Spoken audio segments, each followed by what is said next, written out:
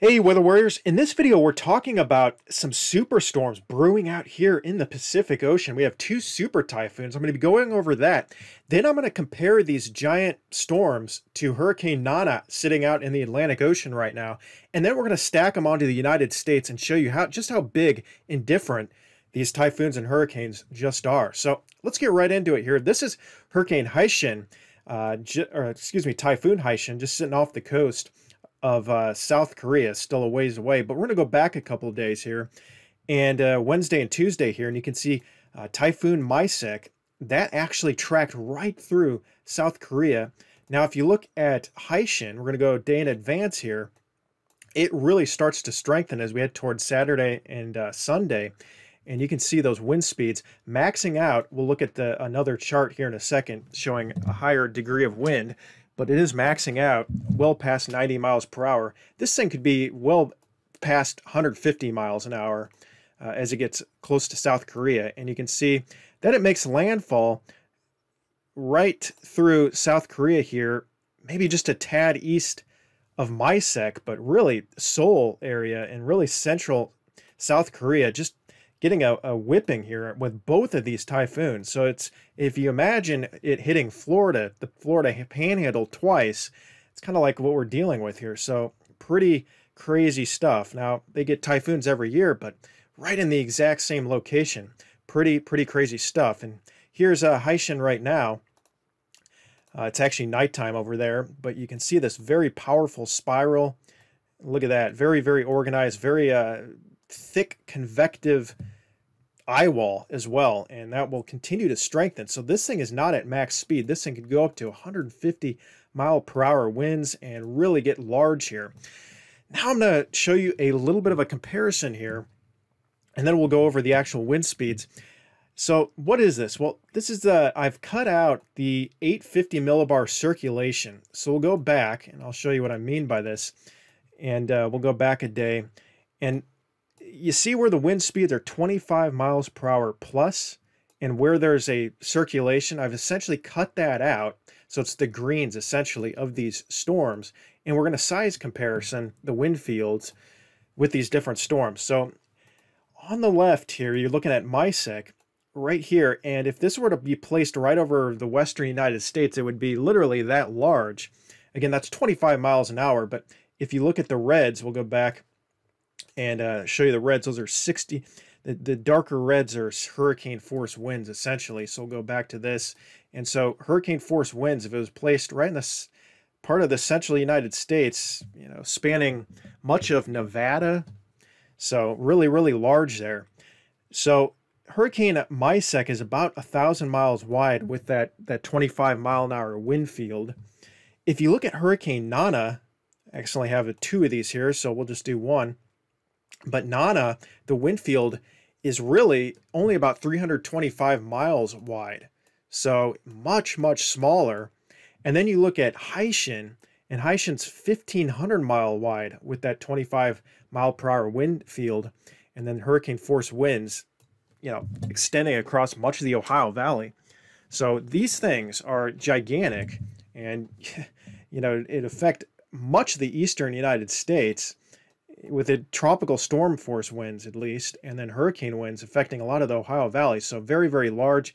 And you can see Nana doesn't even stand a chance. Now Nana is a very Nana is a very small hurricane, but still, I mean, this is a crazy comparison here. Here's Maysak, here's Nana side by side. Then you look at Nana and Haishen side by side.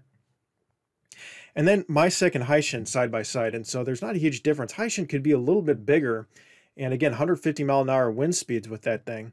And then you look at how many nanas could fit in Maysak and Haishen. And if you fit all the nanas in Maysak, we've got 1, 2, 3, 4, 5, 6, 7, 8, 9, 10, 11.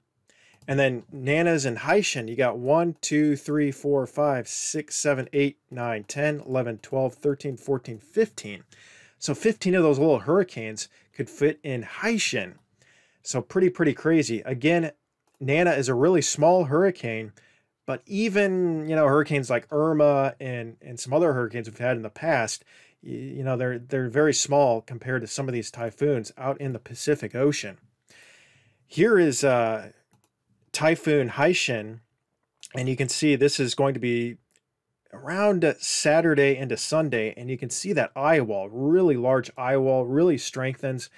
Okay, South Korea is up here, and uh, then as we go into the day Sunday, you can see that move almost due north, and then as we get towards Monday, it hits landfall and eventually starts to die out. Once these things hit landfall, and when they start interacting with the jet stream, especially the they'll start to kind of shear out a little bit and spread out. So even though it's larger, it's it's lost intensity. So it will die out as we get towards Monday. But here's the actual wind speeds with the GFS computer model. And the GFS has wind speeds maxing out at 150 plus miles per hour, maybe even stronger than that just off the coast of South Korea.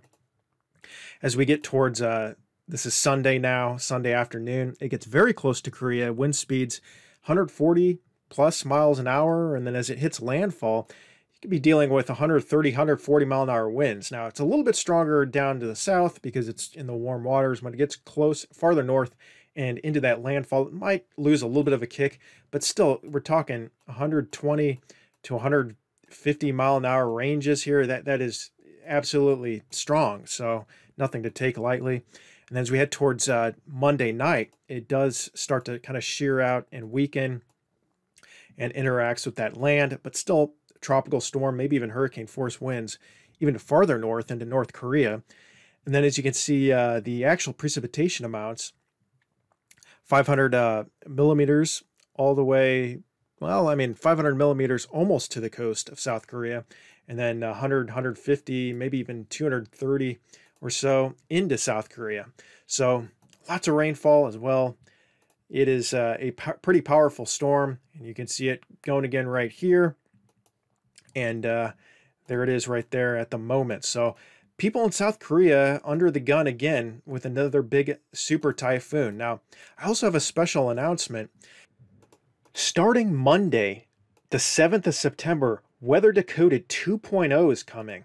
And with that, if you like these types of visualizations with data and stuff, I think you're going to like Weather Decoded 2.0 because I'm custom coding a lot of this model data that you see and several different models as well.